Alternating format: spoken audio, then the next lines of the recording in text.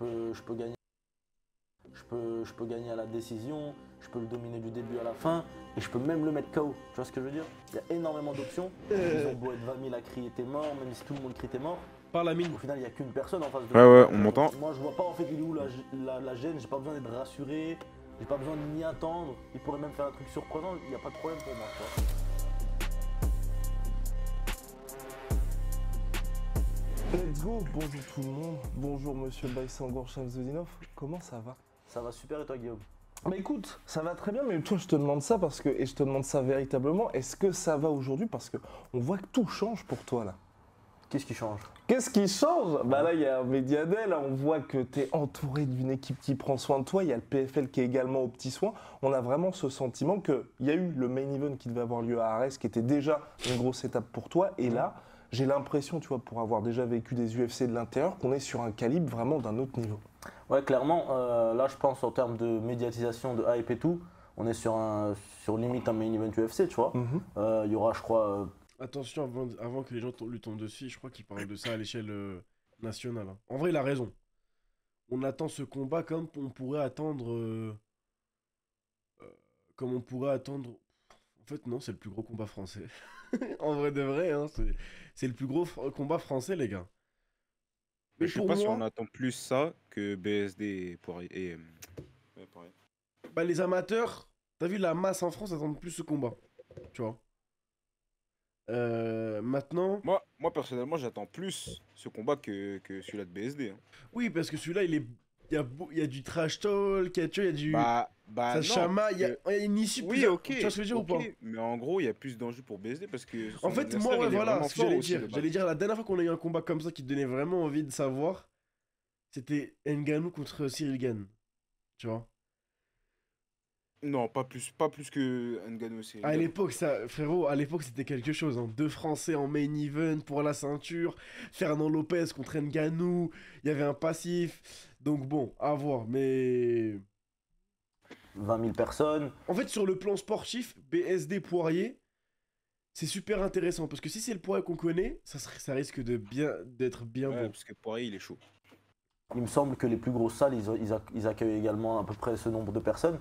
Donc euh, ouais, franchement, euh, c'est cool. Ça me prépare pour, euh, pour les prochaines échéances aussi.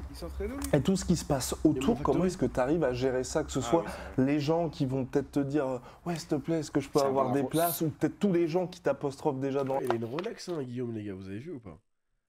Cache-la, cache-la, ma gueule. la rue pour dire Alors qu'est-ce que tu vas lui faire à Cédric Doumbé? Est-ce que c'est difficile à gérer ça? Non, en vrai, on commence à, après, on commence à avoir des réponses qu'on donne un peu à tout le monde. Euh, tu dis que voilà, ça va bien se passer, machin, machin, regarde le combat, tout ça. Et après, pour les places à donner. tu veux que je, tu veux que je dise quoi? Non, mais j'imagine que c'est compliqué. Quoi Il t'a donné une place? Ah non, moi j'ai pas de place, les gars. J'ai acheté ma place comme tout le monde allait l'acheter. hein. Ah. Comment est-ce que donc, là, toi, donc il y a les réponses que tu vas donner aux gens, mais comment est-ce que tu gères? Est-ce que tu as refermé ça avec uniquement tes proches, ta famille? Mais je crois qu'ils ont, ils ont flouté la chaussette, soit parce qu'elle pue, mais soit, soit parce qu'il y a une marque. Non, ou alors. Ouais, peut-être une marque, je pense. Mais gros, pourquoi Ça, c'est des chaussettes du marché, ça. On est d'accord? Bah, je sais pas, hein. Je trouve qu'il a des petits pieds. Ou est-ce que, À justement, tout moment, vous il y a un avez logo On est, on est sur hein. des pieds grecs, hein, si je peux me permettre. une organisation un petit peu particulière pour que tu puisses rester dans ta bulle jusqu'au combat Bah, on, on répartit ça avec la famille. Après, euh, bien sûr, moi, je suis dans ma bulle, euh, quoi qu'il arrive, que j'ai un combat ou pas. Je suis pas quelqu'un de très branché, entre guillemets. Euh, je reste concentré. euh, là, j'ai un combat. Voilà, quoi. Hmm. Comme d'habitude, en vrai. Ok, et on peut, enfin en tout cas moi je, je- c'est ce que je pense en tout cas, c'est que le combat qui va avoir lieu là contre Cédric, c'est un énorme combat. Il a lieu parce que Cédric Doumbé voulait t'affronter, mais parce que aussi ça fait longtemps que toi t'as planté un petit peu la graine pour que ça puisse avoir lieu. Est-ce que toi tu préfères cette ambiance là où il y a un petit peu de trash talking, où ça se cherche un petit peu? En vrai, ça fait du bien parce que euh, en, en France, on a très peu de combats comme ça, surtout franco-français. Donc euh, là, les gens, ils sont hypés de ouf. Euh, moi, je pense que c'est une bonne chose et ça fait encore plus avancer le MMA en France. Et, et pour 37-42, les chaussettes de Baki. Mais à quel moment tu te. vraiment. Eh les gars, je vais rajouter. Je vais, ouf. je, vais, je vais mettre le chat, moi. Mais non, ça sert à rien. Si, dans, si c'est important. En fait, je regardais ma rediffusion sur mes trucs, tu vois. Je regardais ma rediffusion BG. Et je te jure Mhm. que. euh,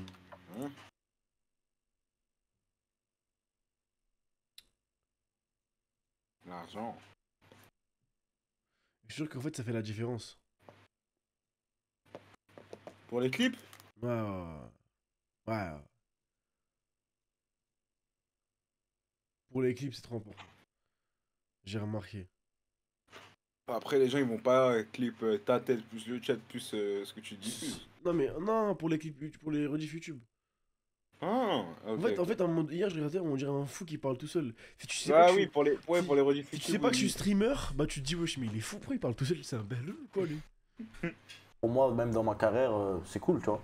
Et jusqu'à maintenant, ces attaques entre guillemets, tu les prends comment? Non, moi je trouve que ça reste euh, très sportif. Il attaque mon image professionnelle, ce qui est normal. Comme j'attaque euh, aussi son image en, en contre-attaque. Il n'est pas rentré dans le personnel. il- Donc il n'y a pas de problème quoi. Et le fait là de te dire qu'il Ah, a, déjà commencé, je crois que c'était à Tours ce week-end où il a fait un petit, euh, un petit échauffement du Baki mort qui devrait y avoir à Bercy, le fait de savoir que ça va avoir lieu, d'avoir eu ce qui s'est passé lors du précédent PFL, est-ce que c'est quelque part rassurant? De qu'est-ce qui est rassurant? Bah de savoir ce qui va se passer et de savoir à Il a quoi pas t'attendre aussi, que va y avoir euh, peut-être 20 000 personnes. Il a pas compris la question.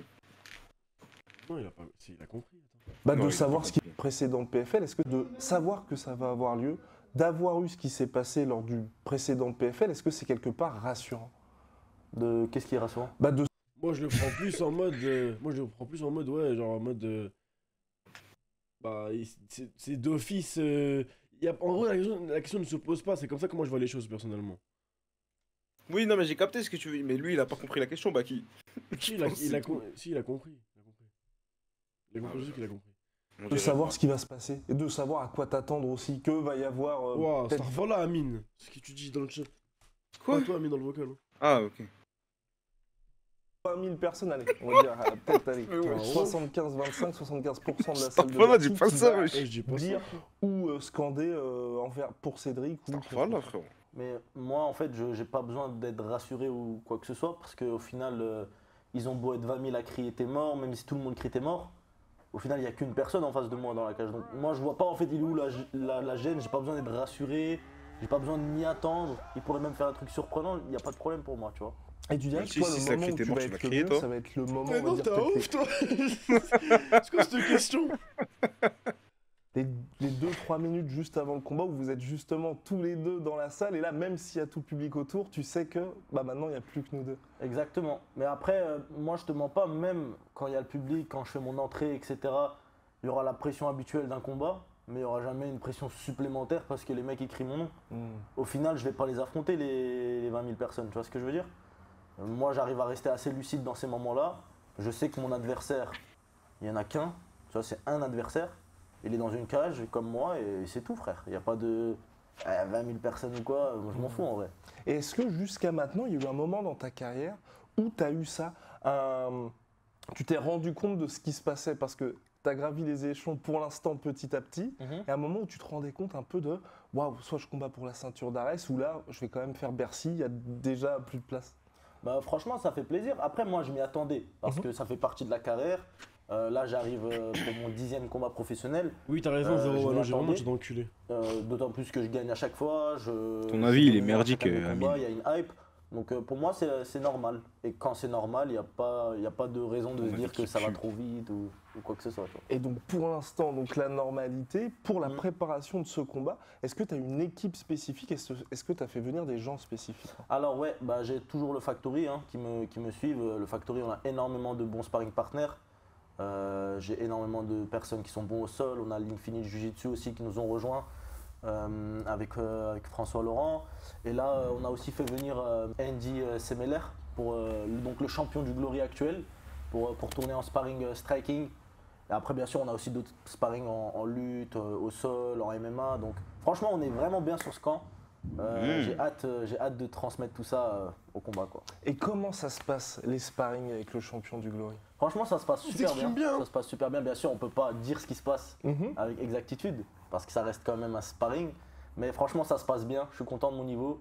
Et, euh, et je pense que ça va, ça va être très très bien ce qui va se passer le 7 mars. Ok, ok, bah on a hâte de voir ça. Et comment ça se passe avec Fernand aussi, donc qui est euh, boss du MMA Factory, un des plus gros coachs en France. Là, est-ce qu'avec ce combat-là, euh, tu sens qu'il y a quelque chose de particulier aussi pour Fernand de dire là, il faut qu'on frappe un gars Alors bien sûr, il met tous les moyens à disposition pour qu'on remporte la victoire, mais Fernand il fait ça à chaque combat.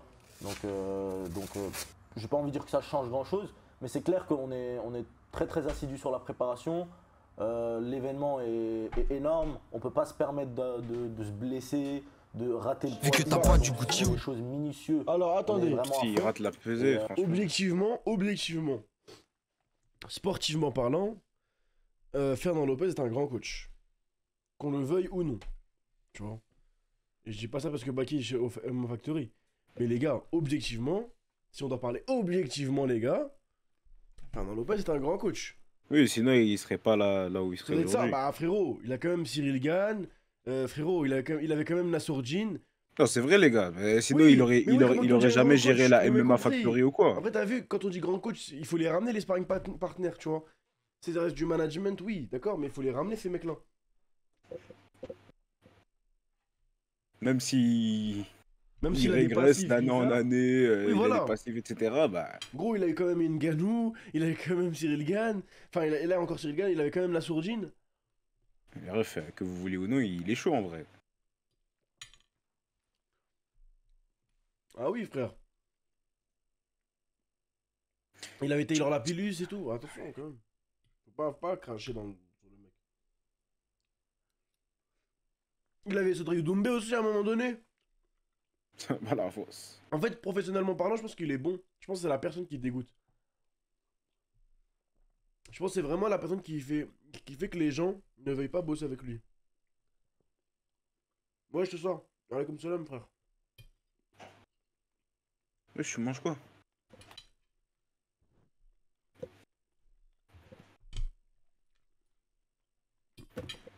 Ouais, alhamdoulilah. Ya'tik saha, les gars. Revenons, continue. Un petit Euh, peu de caca donc, sur euh, le côté donc, de euh, voilà, l'assiette. Et par rapport à ça, je suis obligé d'en parler, justement, le côté poids cutting. Euh, au dernier combat contre Klinkhammer, malheureusement, ça ne s'est pas fait. Là, qu'est-ce qui fait que tu te dis avec ta team, là, on sait qu'on va être au poids? Parce qu'en plus, je pense que Cédric va bien insister là-dessus, de dire, bah, c'est quand même une interrogation, on accepte le combat, alors qu'on sait que la dernière fois, il l'a pas fait. Alors déjà pour euh, le combat Klinkhammer, euh, il y avait pas mal de circonstances qui ont fait que j'ai pas fait le poids. Euh, déjà le fait que le combat précédent à celui-là euh, c'était un, un catchweight à 81, ça dérègle quand même pas mal de choses euh, mine de rien. Et surtout euh, le fait que du coup j'étais à Dubaï pour le camp de, de Hamzat, je suis revenu à Paris pour préparer Klinkhammer, j'étais à un mois du fight. J'ai pas eu tellement de temps que ça pour la partie déficit calorique. Après sur la partie cutting, euh, hydrique ça s'est bien passé, mais du coup il nous manquait encore un peu de poids. Donc on a raté de 1 kg, on a quand même réussi à pousser bien. Mais sur ce, com- sur ce, sur ce combat-là, franchement, j'ai de l'avance de ouf. Euh, donc ça va bien se passer, Inch'Allah. Et tu dirais aujourd'hui que tu peux faire le poids à 77 kg combien de fois dans l'année? Moi, je pense que je peux le faire 4 fois maximum. Après, au-dessus de ça, ça commence à être chaud parce que je dois quand même euh, m'y prendre assez tôt et tout. Et je pense pas que je peux le faire 4 fois 5 années de suite. Tu vois ce que je veux dire? Mmh. Parce qu'en fait, quand plus tu enchaînes un cutting et régime, plus ton corps il devient réticent à ça. Mhm. Ça veut dire que si par exemple cette année je fais 4 combats euh, à 77, peut-être que celui d'après, l'année d'après, je vais devoir euh, ralentir un peu et revenir encore après sur, euh, sur l'année de- d'après. Après, je pense que ça peut aussi se gérer sur le long terme. Si j'ai une période sans, sans combattre, je pourrais faire une, carrément une transformation physique. Moi, mon problème, c'est clairement ma masse musculaire. Tu vois, je pèse lourd, principalement lourd. à cause de ma masse musculaire. Donc, si on fait une transformation physique pour essayer de, entre guillemets, perdre du muscle, ça pourrait, ça pourrait rendre la chose plus simple, mais toi-même, tu sais, on n'a pas envie de perdre des- du muscle durement acquis, tu vois. Donc, Mhm. euh, Bah puis c'est ton jeu aussi. Enfin, je veux exactement, dire, euh, exactement. Et, et donc là, dans l'éventualité d'une montée en 84, ce serait un Baki encore plus musclé aussi. hein. En- Exactement, encore plus lourd, encore plus musclé. Mais pour l'instant, c'est pas prévu de monter en, en Mhm. 84. Et pour revenir à nos moutons et donc au PFL, on se souvient, il y a plein de gens qui te posaient la question UFC ou PFL, PFL ou UFC. Finalement, aujourd'hui, là, t'es au PFL. J'ai signé un, un contrat avec le PFL, donc un one shot pour, Mhm. pour affronter Cédric. Et il faut voir. On Ouais, va- c'est un je dis jamais, jamais, mais euh, on verra bien ce que ça donnera dans le futur. Peut-être que après l'avoir battu, euh, monsieur voudra une revanche. Ok, ça t'intéresserait donc une revanche. Bah, pourquoi pas si, bah Après, il faut suivre financièrement, tu vois. Mmh. Et là, avec cette PFL, hein. qu'est-ce que tu Ça, prévois l'argent. de faire de cet argent? Pour l'instant, comme je l'ai dit plusieurs fois, euh, dans Est-ce que vous vous rendez compte que. Non, il ce qui parle du FC, t'as pas compris. C'est un one shot. Maintenant, s'il euh, propose un... c'est qu'un seul combat en Ouais. gros. S'il lui propose un contrat où il y a une C'est comme revanche Zebo. et qu'il y a beaucoup d'argent, il va y aller. Mais pour vous dire à quel point, t'as vu, le mec, il est pas intimidé, tu vois. Il parle de Ouais. donner une revanche, tu vois. Il a pas tort. Mais Doumé l'a dit sur simple, c'est pas un one shot. C'est un one shot. Si, c'est un... Bah, il vient de le dire, il va pas mentir, les gars. Il connaît son contrat avec, euh, avec Doumbé. on construit une maison en Tchétchénie. Donc euh, j'aimerais bien qu'on puisse la finir une bonne fois pour toutes. Et après, le reste, euh, on verra bien. hein. C'est pas moi qui gère ça de toute façon. Ok, ok, en fonction des projets. Exactement. Et donc là, par rapport à tout En vrai, il combattait pour un setup, maintenant il combat pour des briques. Et Une maison. ce qui se passe aujourd'hui, donc que ce soit donc au facteur, Bah, c'est déjà par mieux. À, to- à toi aussi euh, Oui. au, au niveau de l'entraînement, il y a des gens qui viennent, on sent vraiment que tu as passé un cap en termes de carrière. Est-ce que là aujourd'hui, tu te dis, dans les interviews, on a pu voir avec le PFL aujourd'hui, il y avait de, de l'anglais également. Mm. Est-ce que là, tu te prépares à ça aux échéances ou va falloir aussi jouer au jeu entre guillemets des Américains? Euh, bien sûr, bien sûr. Là d'ailleurs, je travaille mon anglais. Ça veut dire que je commence à parler de mieux en mieux. Je suis pas très à l'aise encore pour faire une interview complète, Mhm. mais je peux tenir une discussion euh, en anglais. Donc euh, bien sûr, on s'y prépare parce que c'est quand c'est quand même le futur qui nous attend. hein. Euh, Ça va être trop au niveau drôle. mondial, c'est- ça parle anglais, tu vois. Donc Mhm. euh, clairement. Tu penses que là, c'est ton dernier combat en France ou pas? Aucune idée. Franchement, aucune idée. Euh, Peut-être. Je Mhm. pense que ouais. Peut-être Ok. que ouais. Et en termes de justement nouvelle étape dans ta carrière, Baki 2.0, on voit qu'il y a de nouveaux sponsors Ouais, qui 2.0. t'accompagnent. Est-ce que tu peux nous en dire plus pour ça? Parce que moi j'ai l'impression aussi que là, au-delà du public, il y a aussi des gens qui veulent vraiment s'associer à toi. Bien sûr, il y a pas mal de sponsors. Après, euh, je peux pas tous le- te les citer, mais je vais te citer euh, mon sponsor euh, le plus important qui me suit, qui est d'ailleurs euh, ici, donc Ginveo. Euh, c'est une marque de compléments alimentaires, tu vois, qui, qui s'occupe de, de fabriquer leurs propres compléments. En fait, sur toute la partie euh, minutieux détail de la performance, c'est quelque chose que je fais super attention. Ils sont vraiment euh, au taquet et franchement, ils gèrent de ouf. Et je les remercie de ouf. Donc euh, c'est vraiment un plaisir et un honneur de travailler avec eux. Quoi. En plus, un super ambassadeur, parce que c'est vrai qu'aujourd'hui, toi aussi, ce qui, est, ce qui est agréable quand on te voit, et je pense qu'il y a pas mal de gens qui connectent avec toi pour ça, c'est qu'on voit que tu es authentique, dans le sens où tu es, certes, très respectueux, il n'y a pas de souci, mais il faut pas trop titiller. Bien sûr, c'est quand, même, euh, c'est quand même le minimum. On est des combattants, on a de l'ego. Après, j'essaie quand même de rester humble. Mhm. Euh, je, je suis humble. Il faut rester humble. On est tous des humains, faut pas oublier. Euh, mais tu vois, quand on te cherche, il faut savoir répondre euh, de manière intelligente et respectueuse, bien sûr. Mais juste, bien sûr. Et justement, le fait que tu répondes, tu commences à répondre au trash talk aujourd'hui de Cédric Doumbé, comment ça se passe? Que c'est toi tout seul qui gère ça? Est-ce que c'est ton équipe? La voix de, Alors de pour la partie Guillaume. trash talk, quand je réponds, quand vous voyez une réponse de, de moi sur les réseaux, c'est moi directement. C'est pas quelqu'un qui le fait euh, à ma place. Euh, J'ai vraiment cette capacité à être vif d'esprit. Je sais pas Mhm. si je l'ai développé où, mais je pense euh, Sur les jeux. à force de jouer aux jeux vidéo ou, ou sur internet, tu, tu développes. Ce bien vu de- comment de Baki il est toxique sur les jeux. hein.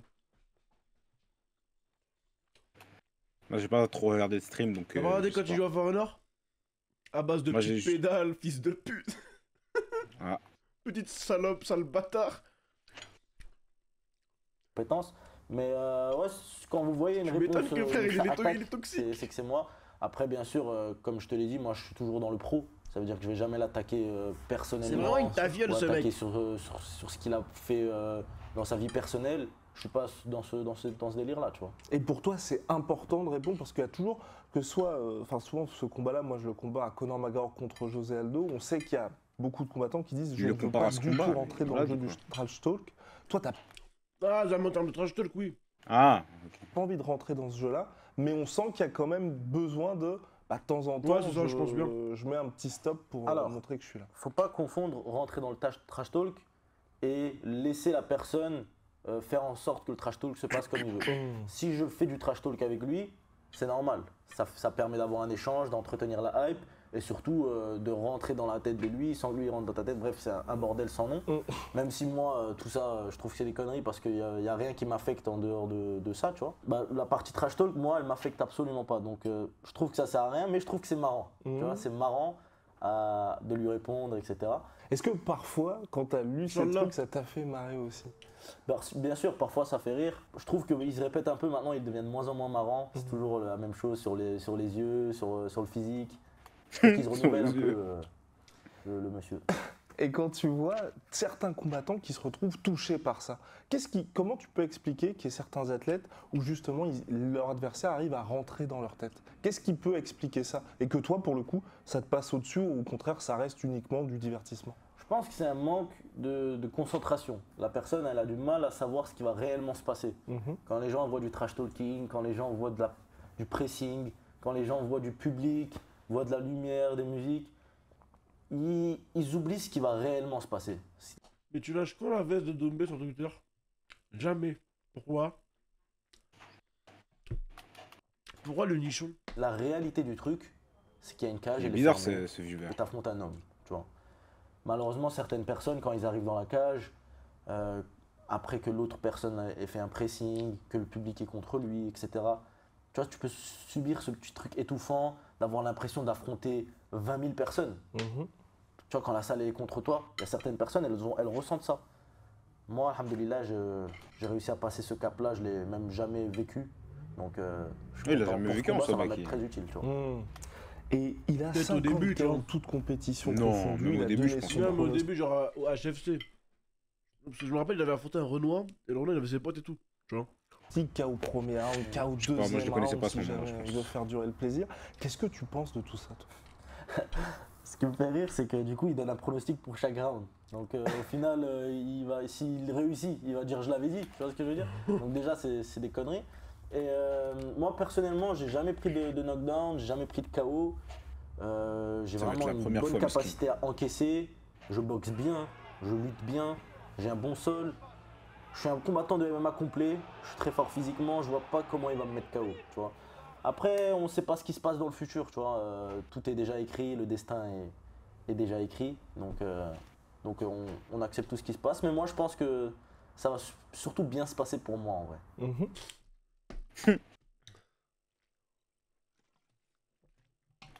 En fait, Baki, il est un peu insolent, je le vois là. Je sais pas si tu vois ce que je veux dire. Il est Et insolent. Bah oui. Est-ce que tu peux nous parler un peu Non, mais il est insolent, mais il est pas irrespectueux. Non, il est pas respectueux, mais il est justement insolent. ta boxe Parce que c'est vrai que les gens ont en tendance. fait, il a trop- je En fait, il est oui, pas insolent en mode arrogant. Mais avoir un il a confiance en lui. Donc, euh, Ouais, lui voilà, c'est ça. euh, bah, Bah, après, c'est normal, Qui va mais- utiliser son striking. Ouais, il est insolent, mais intelligemment. Genre, c'est pas gênant, c'est pas répétitif, tu vois. Il innove bien, il parle bien. Ça change de. Ça- ça va pas lui servir le jour du combat, hein. Mmh, Ça change de beaucoup de ça, tu vois. Mais tu peux pas comparer à Pour le. MMA, évidemment. Malheureusement, les gens, ils aiment bien simplifier sur ce qui est parfois compliqué. Ils se disent l'autre, il est champion du Glory, donc il va le fracasser debout. L'autre, il a fait du judo, il va essayer de l'emmener au sol. Ils essaient de simplifier ce qui est quand même compliqué. Le MMA est un sport compliqué, il y a du mix, tu vois. On mélange tout ça. On a vu des, des excellents strikers comme Conor McGregor. Au PFL, il n'y a pas beaucoup de coups, alors que sa boxe Non, y a est- pas. Mhm. euh, était considérée Mais ça, euh, Ouais. en vrai, ça joue pas en défaveur de Baki. Genre, il met pas de coup de coude de base, tu vois. Ah, non, je sais pas. c'est- Peut-être, Ah, hein, bon. il pouvait s'en servir, hein, mais bon. Ouais, mais. Genre, Baki, ça. éviter une défaite avec ça, quoi. C'est tranquille, c'est pas grave. Parce que c'est par organisation, Karim. Attends, vite fait, je vais poser ça. Oh, les gars. Wesh, il s'est passé quoi? Non, ouais, j'ai dit, j'étais contre un JL sur FIFA, là. Gros marque et, et essaie de. Je sais pas. euh, Je peux pas faire une célébration euh, burger. c'est comme pitoyable, tu vois. vu que c'est du mix, ce genre de choses arrive. Donc, euh, moi, moi, je sais que ça reste quelque chose de compliqué, qu'il y a énormément d'options. Euh, et peut-être qu'on sera surpris le 7 mars de voir un, un Baki euh, striker mieux que, Que que Doumbé. Monsieur Striker. Quoi. Est-ce qu'il y a cette envie de ta part Parce que John Jones, tu vois, par exemple, il mettait un point d'orgue dans ses meilleures années à battre son adversaire là où il était considéré comme le meilleur. Par exemple, Glover Teixeira qui était pris en clinch contre la cage et qui se prenait un nombre invraisemblable de coups. Est-ce que toi, tu as cette envie-là aussi de pouvoir challenger ton... Azama, il a envie de prouver qu'il est meilleur que lui en striking. Non, mais Zama, il, il dit que. Ils veulent le défier sur ça Ouais, non, il a dit genre, tu peux pas savoir, peut-être que. Gros, Zama, il essaie de hype, Zama. Non. Par contre, c'est là où tu vois que John Jones, il est vraiment fort. C'est que John Jones, il est vraiment insolent de ouf. Ouais, parce qu'ils faisaient ça. Il faisait quoi? Il allait te défier dans ton domaine. Il te baisait dans son domaine. Ouais, c'est pas ça, une faisait dinguerie, les gars Et il arrivait. hein. Mais ça, en plus, ça, c'est frustrant. hein. Ouais, je me rappelle de toi, euh, Mawahida. Mawahida. Ça, c'est vraiment frustrant. Genre, John Jones qui arrive et qui, comment s'appelle? Il va, il Il- taille Daniel Cormier, champion, olympique euh, poids lourd euh, lutte. Il arrive, il met une balayette à un lutteur, c'est trop une singerie, frère. Ton adversaire, là où les gens Ça, s'attendent. c'est à grave frustrant, ça. Alors, euh, je vais, ça va pas être une volonté absolue de faire ça, parce que je pense que ce serait une erreur. Hmm. Euh, ce serait euh, clairement écouter son ego. Si tu me disais de faire un sparring, à la limite je le ferais, parce que ça, ça me permet de me tester, tu vois. Mais sur un combat aussi important, vu, je pense pas que ce sera une volonté absolument de vouloir prouver quoi que ce soit. Ce sera surtout une volonté de remporter la victoire. Mais comme je te l'ai dit, c'est possible que Bah oui. euh, sur des de Après, c'est normal, la vérité. ou même sur, euh, sur des rounds entiers en striking, bah, qui a l'avantage. C'est ça. possible, tu vois. Parce que c'est pas un match de kickboxing. Il y a l'aspect Oui. fatigue en lutte. Je Jones, cool. c'est un lutteur. C'est un lutteur. Mais c'est pas du niveau de Daniel Cormier, tu vois, en pure lutte. euh, l'aspect feinte. euh, Il y a énormément de choses, tu vois. Donc, c'est pas un match de kickboxing, faut le rappeler. Après, euh, sur papier, bien sûr, euh, monsieur est censé être meilleur en, en striking et on lui enlève pas ça. Donc, euh, donc on verra bien ce qui se passe. Dans tous les cas, ça reste un combat. hein. Un combat, on prévoit jamais ce qui se passe et on peut en discuter encore des heures, tu vois. Et Eh oui. Bien sûr. Et dans son striking, par exemple, qui est quand même considéré par beaucoup comme étant extrêmement dangereux, est-ce qu'il y a des choses en particulier où toi tu te dis c'est impressionnant ou encore tu te dis ça c'est particulièrement dangereux? Bah, moi personnellement, je suivais pas trop le Glory, donc je peux pas te dire. C'est un bon striker, faut le reconnaître. Franchement, je le trouve excellent euh, dans son domaine. Ouais, hein. j'arrête, qu'il était euh, champion du Glory, tout ça. Et en MMA d'ailleurs, il reste dans ce domaine-là, ce qui prouve qu'il a confiance en son striking. Ce serait mentir de dire qu'il est nul, tu vois. Donc euh, clairement, il est, il est bon. Et, des choses impressionnantes, il y en a. Il y a des choses qui, où il est très bon, mais c'est des choses que maintenant je sais, qui me permettra de, de me préparer, que je me prépare et, et qui me permet de le contrer. Quoi. Et dernière question, Baki, moi je vois ce combat-là comme une situation où tu as beaucoup plus de chemin vers la victoire que Cédric Doumbé. Bien sûr, il peut éteindre la lumière comme Ah, euh, parce bah, qu'il il est l'a déjà fait plus jeune que à maintes reprises au cours de sa carrière, mais pour moi, tu es dans une situation où tu peux gagner le combat de différentes manières. Est-ce que toi tu le vois ça aussi? Bien sûr, c'est ce que je vois, euh, c'est que Cédric, franchement, je le vois pas me soumettre, je le vois pas gagner à la décision. Euh, personnellement, Enfin, Wallah, frère, t'as vu mon combat où j'ai j'ai fait une disqualification parce que mon protège-dents tombait tout le temps, j'ai le seum, Michael. Euh, je le combat là, c'était. T'es celui qui a combattu contre Isma, hein, on est d'accord? Le Rifi là. Même il est allé sur YFC. Ouais, j'ai vu, mais mes frères, il y avait même un, combat- un problème de cardio, non? Je De quoi? C'est un mec Ah, qui avait combattu. je le vois pas me mettre KO. Mais si on devrait imaginer le pire des mondes, euh, le truc, son arme à lui, c'est quoi? C'est les punchs, tu vois? Mmh. Donc euh, c'est vraiment sur ce truc-là qu'il est dangereux. Sur le reste, je le vois pas gagner. Donc moi j'ai énormément d'options. Je peux le soumettre, je peux, je peux gagner à la décision, je peux le dominer du début à la fin. Est-ce que. Attends, déjà, j'ai une question. Tu vois ce que je veux dire? Il y a énormément. Est-ce que pour vous, déjà, Baki va ramener Doumbé au sol? Bah, après, c'est pas non plus sa spécialité à Baki aussi. hein, Donc... euh. À mon avis, moi, pour moi, je sais pas pourquoi j'ai. Je pense que le, le combat, il va pas aller au sol. Est-ce que pour vous, Baki va maintenir Doumbé au sol Moi, je pense que est il sera plus lourd. Si jamais il va au sol- on est d'accord que si, genre en mode premier round, tu vois Baki, il le ramène au sol, il le match au sol, tu vas commencer à. Bah, non, mais s'il va au sol, s'il va au sol, si au sol, je vais comprendre. S'il va au sol, je vais comprendre. Et Baki, Baki, écoute, regarde. Écoute, si Baki va au sol, il sera plus lourd déjà que lui, ça, c'est- ça, ça va se voir. Ça sera logique aussi, donc il va forcément le maintenir plus longtemps. Est-ce qu'il y a des mecs qui sont fans de Doumbé ou pas dans le chat? Genre, regardez, je vais vous poser une question.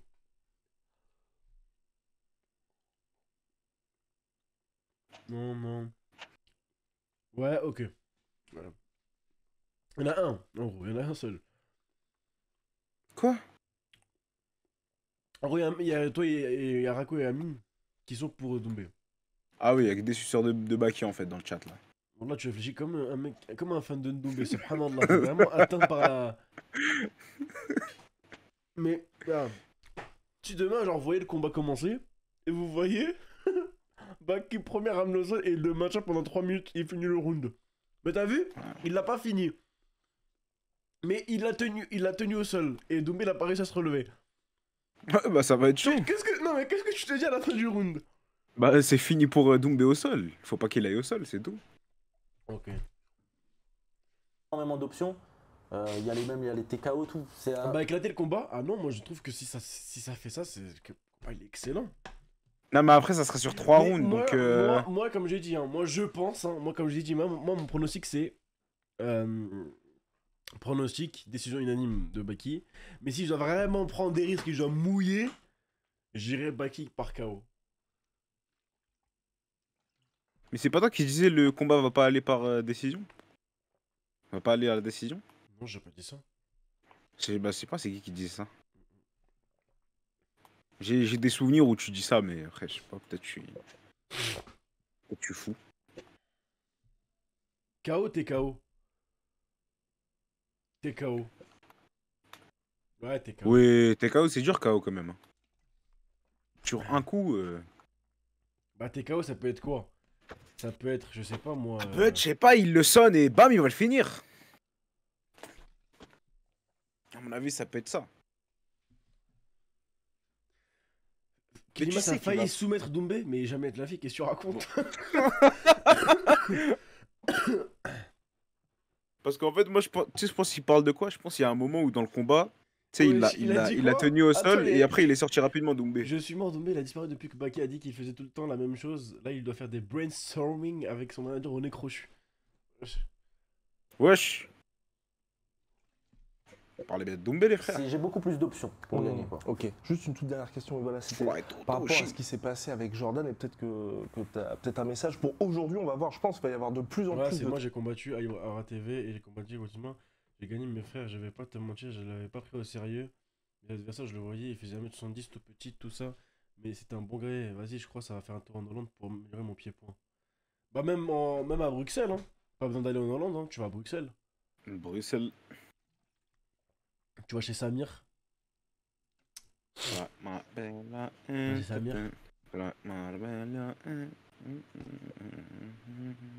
Déjà qu'il valide sa pesée, Bakir qu'on discute. Mais tu dis ça comme si, comme si Domé il avait pas raté son poids il y a moins d'un an. De plus de, Les gars, avec plus de kilos, s'il vous plaît, les gars. La vérité, dites même pas ça, les frères. S'il vous plaît, frère. L'autre, il a. En plus, l'autre, c'est même pas il a raté de 1 ou 2, mais de 3 kilos trash talking dans le MMA en France. Mhm. Comment Bakir a loupé toi, son poids. on va Oui, dire je sais. que tu Doumbé, préparé aujourd'hui à gérer l'après et à faire en sorte que tout se passe bien et qu'il n'y ait pas peut-être de, tu vois, euh, de, de moments un petit peu de flottement après le combat? Alors, euh, déjà, moi, j'ai discuté avec Jordan. Donc, euh, en vrai, Jordan, il va bien. Il va très bien. Il n'était pas là, comme les gens le disent sur Internet, euh, à se plaindre d'harcèlement, etc. Jordan, il, il, est, il va très bien. Juste, il voulait parler des faits, ce qui se passe réellement, pour que les gens ils comprennent euh, l'ampleur de la situation, etc. Mais je pense que c'est un truc intéressant parce que euh, il y a un prix dans chaque chose, tu vois. Actuellement, battre Cédric, ça permet d'avoir une hype phénoménale en France. Non, mais s'il bat Euh, Cédric, tu vois, s'il bat Cédric et que Cédric il veut une revanche, faut lui donner sa revanche à Cédric. Bah oui, faut lui donner. faut lui donner, les gars. C'est ça qui est beau.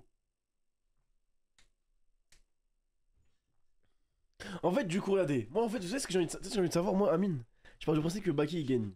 En fait, j'aimerais savoir comment Doumbé va faire dans une revanche, tu vois. T'as capté ou pas? Parce qu'il pourra pas dire ouais je vais te mettre KO au premier round. Il pourra pas être dans la position. euh, Attends, je suis pas là. Ah ok d'accord. Si le PFL Paris et ça c'est pas grâce à Baki, faut pas se mentir. C'est grâce au combat frère. C'est grâce à Doumbé mais c'est surtout grâce au combat.